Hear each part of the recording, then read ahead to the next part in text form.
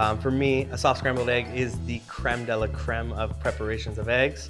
It is a simple technique and really all you need is just a little bit of eggs, a little butter, top that with a little bit of salsa macha, which is essentially a Mexican chili oil that really elevate those eggs to levels of flavor town you've never known. Howdy y'all, my name is Edgar Rico. I am the chef and owner of Nixta Taqueria here in Austin, Tejas. Today's dish we're gonna be making is a little soft scrambled tostada and a little bit of salsa macha. For this recipe today, you're gonna need a little bit of canola oil, some fresh tortillas, guajillo chilies, some arbol chilies, a little bit of ancho chilies, some New Mexico chilies, some fresh garlic, a little bit of Mexican oregano, specific on the Mexican oregano, don't buy the Italian apple cider vinegar, some pecans, a little bit of peanuts, sesame seeds, eggs, butter, raclette cheese. You may see it on all those YouTube videos where you see them scraping the cheese off. We're not gonna get that crazy, but it's gonna be a great accent to this dish. So it adds a lot of creaminess, a little bit of fancy finishing salt known as Maldon, just a little bit of chives to give it a little greenery and make it a little healthy for you. That's all we got. We're gonna start off today by making our salsa macha first. With the salsa macha, some of the key things you need are dried chilies. Freshness is key with some of these dried chilies. I'm gonna start first by deseeding all these chilies. Um, and the first dried chili we're gonna start off, it's gonna be a little guajillo. Guajillo chilies have a really nice smokiness to them. They also provide just a really bright, beautiful red color. And the reason we're deseeding these to kind of control some of that heat because some of these chilies, especially the next one that we're gonna do, the arbols, got a ton of heat to them. These guys are gonna provide a really, really intense kind of heat. This is my personal favorite of all the dried chilies. These are anchos. Um, these have a really beautiful kind of sweetness to them, uh, and they provide a lot of depth to Mexican dishes. They also have kind of like a nice, almost like raisiny kind of dried fruit depth to them as well. This is gonna be uh, a New Mexico chili. This one also, it's similar to the guajillo, but definitely has a little more heat in it as well. Not as much sweetness to it, but just provides a nice little sharp punch to the macha.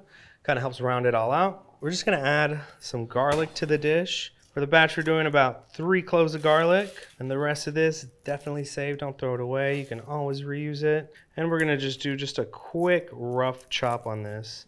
And then we're just gonna put this in our bowl, and we're ready to go. With this salsa macha, um, the first thing we're gonna do is we're gonna get some of this canola oil. Definitely recommend for this dish, uh, use like a neutral oil, something like a grapeseed or a canola, something that doesn't have a ton of flavor. Canola oil first. I have this pan on a super high heat. Once you start to see the first little wisp of smoke, that's when you'll know that it's time to go to start dropping the rest of your aromatics in. So you're gonna definitely wanna start first by dropping the chilies. You know, you wanna make sure too that the pan that you're using has a lot of room to bubble up. Don't be doing it in a tiny little pan because you're gonna have a hot grease fire all over your kitchen and I don't want you to blame me for that. We're gonna put in our nuts, followed by our peanuts, our sesame seeds, a little spin action just to make sure that all those chilies in there are getting toasted and fried, followed by our Mexican oregano.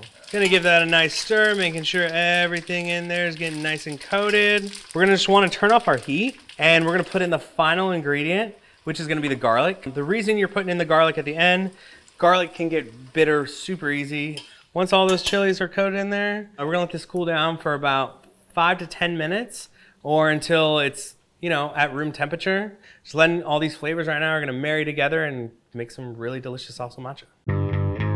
Once you've given this a few minutes to kind of cool down, before we start blending, we're gonna add in a little bit of apple cider vinegar, a little bit of salt. You kind of do to your own liking. I like mine a little saltier, so I put a nice little fat pinch in there. We're gonna start just loading this up, just in batches like so. Getting all these aromas and flavors like if you had a Mexican grandma, this is what her house would probably smell like, but never had experienced that. I'm sorry. Sorry for you, but you can kind of relive that right now. And blend it up pretty fine. Some people will leave it whole, depends on where you're at. I like kind of blending it up just so it's all more consistent and you can kind of spoon it on a little bit easier. I'm gonna just end up adding in the rest right now. So make sure you get all that goodness I mean, you already got this far. You've been working this hard. You don't want to throw away any of those last little bits. And it looks kind of trippy because at first you think it's almost like black, but it actually ends up being like this kind of reddish tone. You can set this stuff in your fridge. It gets better as it sits. I personally, at the restaurant, we let this stuff sit for about a week before we use it, just so all those flavors kind of marry together. The beauty of this is that you got a bunch of it and it goes great on so many applications. So you can't have a tostada egg dish without some tostadas. So the main thing you're gonna need first is tortillas. Literally, we're just gonna put them on the comal. I'm gonna end up getting this probably like a medium high heat not an exact science, it's not a perfect science, but you know, just give it a little flippy flip every now and then and you'll be good to go. If you don't happen to have one of these beautiful made in comals, um, then definitely use the oven. Um, the oven's definitely gonna be your safest bet. You know, we want all the edges to be nice and crispy. At the same time, too, you don't want it to be burnt definitely monitoring. You don't want to walk away and have like a cocktail for a few minutes. You know, it's breakfast time also too. You probably shouldn't be having cocktails this early in the morning, but if you do, you know, bless your heart. But you'll kind of notice it as you start to go through. The color changing, you'll start seeing some of this nice caramelization throughout the tortilla. You might get some of those black spots, but it's all right. Like bitter, kind of burnt flavors are definitely a big part of Mexican cuisine. Our tostadas are now nice and finished off. There's a little, little body to this. So this thing is now ready for our eggs. We are now on the last finale of this dish. Uh, we're gonna make some eggs. This is one of my favorite things to do. Cooking eggs is fundamental for any young chef and cook. I'm working a lot of egg stations in my day. It's trained me to be a great master at cracking eggs and cooking them. We're gonna whisk it up. You're gonna just give it a little tappy, tappy, tappy, tap. And then we're gonna get in there. Obviously for this, you know, since it's such a simple dish, it kind of eggs you buy really matter for this dish. You know, really getting fresh eggs, going to any farmer's market, neighbor you might have that might have a rooster or a chicken, go hit them up for some eggs for this because you're gonna want you're gonna want the nice eggs for this one. When I was taught as a cook, you want to always make sure you're using your wrist to kind of stir. I'm just making sure I'm incorporating everything really nicely together and everything is really well put together and emulsified. We're gonna start cooking this up. Making sure your butter is cold to start is gonna be key for this, but we're just gonna drop this in.